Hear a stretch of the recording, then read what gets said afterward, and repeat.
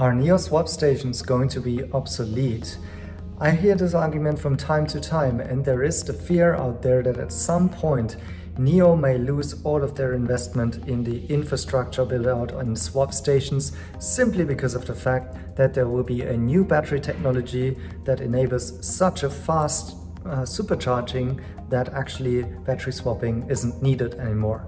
And maybe you've seen the news today, but actually CATL have just announced a new battery, which is an LFP battery, and it is um, subject to be very good at supercharging. So um, they announced that this battery can charge 400 kilometers in just 10 minutes. So that sounds pretty good, isn't it? And in this video, um, I want to quickly give you a couple of thoughts around this and watch it till the very end because I will also tell you what I think will happen in the case that a new battery technology comes out that enables, let's say, a one minute supercharge.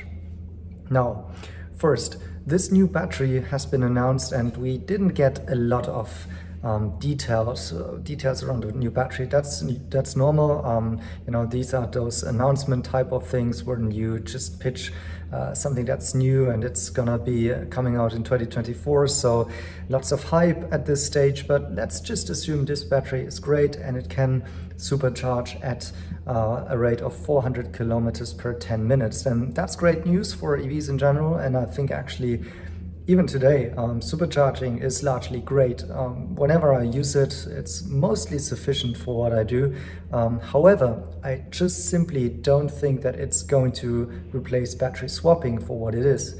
First of all, one of the major um, advantages of battery swapping is that you can swap in the latest technology, right? So in that case, NIO users could actually, when this battery comes out in 2024, simply swap in this latest CATL battery. And that's great for NIO users because also they want to uh, supercharge fast or have the latest technology, right? And they can simply do that even after buying a car. And you know that's one of the big the, the, the upgradability advantage, it's one of the big advantages that will not go away, even with the fastest technology.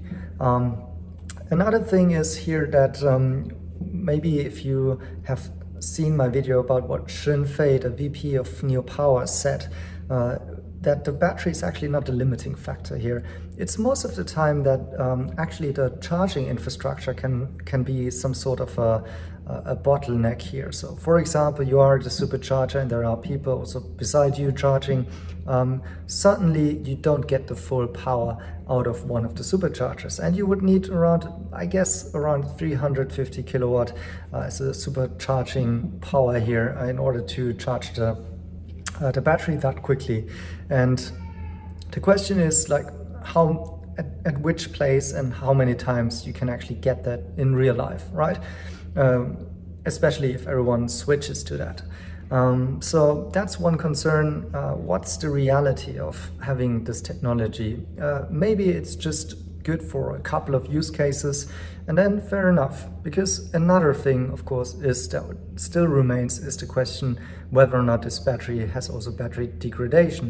And especially if you're just keeping on supercharging at such high speeds, then it might be subject to big degradation. Um, and that's maybe not an issue for the private user when you have to, you know, um, you just use it from time to time. If you're on a road trip, then it's possibly fine. You, your overall battery degradation isn't a, a super huge issue, but especially when we think about, let's say, a robo-taxi use case, when we say these batteries are going to be used in a scenario where um, it's uh, about ride hailing, about taxis, and maybe even autonomous driving, then suddenly degradation certainly becomes an issue, right?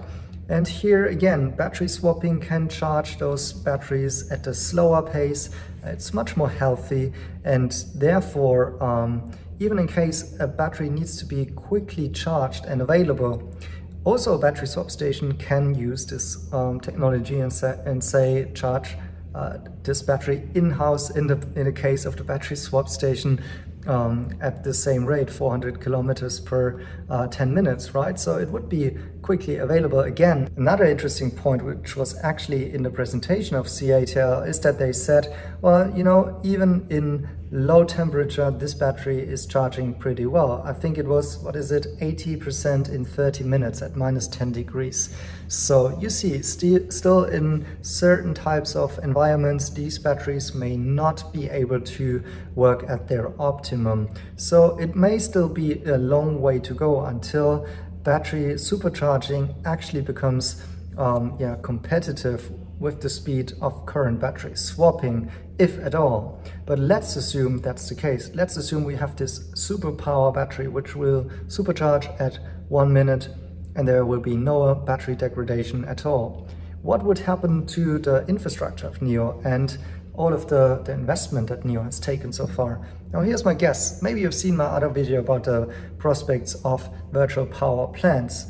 And I think once again, the fact that NIO has um, separated the, the, battery as a very expensive and degrading asset here from the car itself and also put the ownership out of the hands of the customer and into the hands of the company uh, will be an advantage in this case because NIO could simply just keep on using the battery swap stations as those virtual power plants. So this wouldn't mean any sunk cost. In fact, I could even use the empty space of the battery swap stations, which are now being used for getting the car inside and um, also stack it up with the racks of the, um, the batteries that are housed in there and keep using them to balancing the grid and making money on that um, in this virtual power plant network. That would be theoretically um, possible as far as I'm concerned. That's just my views. Let me know in the comments what you think about it. But I think this could be the ultimate case here. And this again comes also from a, uh, a full cycle perspective of what's happening with older batteries or with all of the batteries that are at the end on the balance sheet of the battery asset management company, like in the hands kind of in this NIO consortium, all of that can still be used and monetized over time, even in the case that there is the latest battery technology out there, which is you know at amazing speeds, maybe low cost, uh, and maybe worry-free. Who knows? If that's coming out, these old batteries could still be put to use, and a business case might be possible with that. That's just my, my 10 cents around it, why I'm certainly not worried about such new um, battery technology coming out and improving. In fact, it's to be assumed that this will happen. However, I don't see this uh, kind of, you know, making battery swapping obsolete. However, that's just a couple of thoughts from my side. Maybe I'm too bullish on that. Let me know your views on that in the comments. And then thanks for watching and see you in the next video.